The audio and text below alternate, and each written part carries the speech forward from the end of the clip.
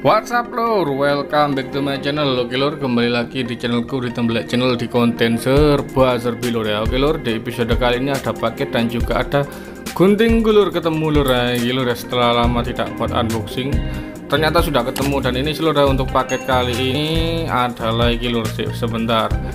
Untuk paket kali ini adalah gunting pruning ngeblur kamera lor lor ya. Tak zoom, tak zoom ya lah si ngeblar ya jangkrik si lo si lo sabar sabar. Uh wih wih nah ini lur. Untuk nama produk lur ya gunting pangkas pruning daun akar oke. Variasi satu seluruh ya gunting hijau. Oke lur ya untuk pesannya aku di shopee lur ya. Saya pedisi pakai iki lur pakai halu. Halu apa yuk lihat aku. Yuk sih Oke lor ya untuk paket kali ini seperti ini langsung saja kita unboxing. Bagaimana untuk isi di dalamnya lor ya?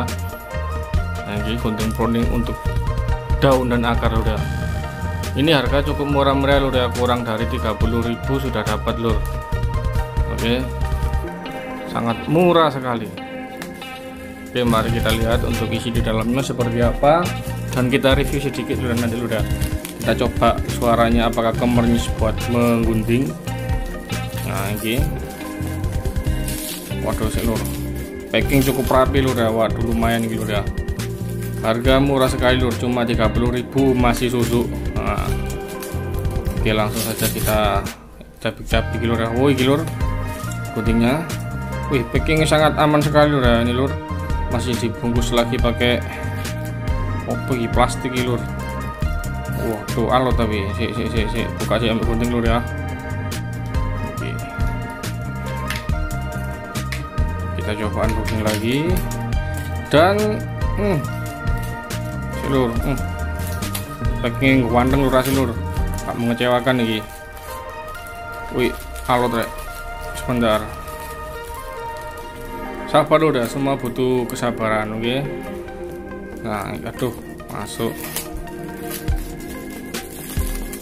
Apa tuh aduh. Aku sih sih bentar. Sabar dulu sabar. Hmm kon.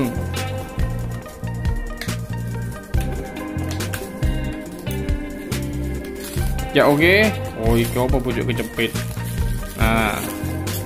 Sip nah ini lur untuk guntingnya. Iki uncalkan saja. Lagi lur ya. Wih ada pengaman di ujungnya lur. Kita buka dulu. Kita lihat untuk guntingnya seperti apa gunting kuning hijau ini.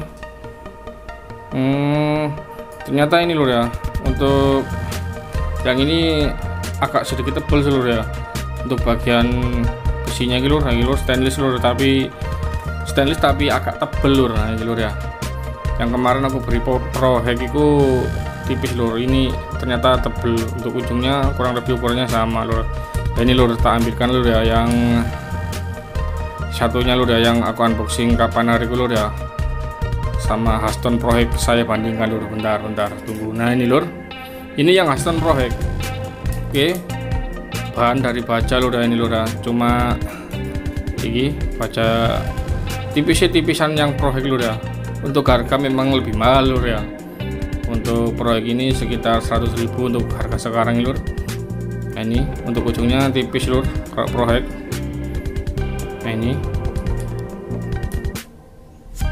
Untuk suaranya juga lebih renyah yang ini lur yang prohek lur ya. Memang harga itu kualitas tapi untuk pemula yang hijau ini nggak apa-apa. Lumayan wis oke. Okay? ini sekarang kita coba lur ya untuk gunting menggunting.